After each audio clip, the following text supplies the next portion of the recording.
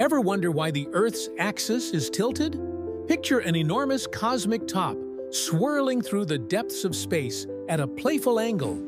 The Earth leans about 23.5 degrees, crafting the breathtaking dance of seasons we cherish. This tilt is no mere cosmic quirk. It's a thrilling souvenir from a cataclysmic encounter, when a Mars-sized body crashed into our planet, sending it spinning with attitude. This delightful tilt transforms our journey around the Sun into a seasonal spectacle. As the Earth orbits the Sun, different parts bask in sunlight at different times, creating summer fun and winter wonderlands. Imagine when summer arrives, the Northern Hemisphere tilts toward the sunlight, transforming it into a sun-drenched paradise, while winter blankets it in soft snowflakes.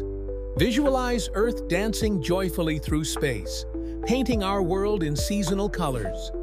So next time you see flowers bloom or dive into summer waves, crunch through autumn leaves or snow, take a moment to appreciate the Earth's dazzling tilt, dancing harmoniously within the grand cosmos.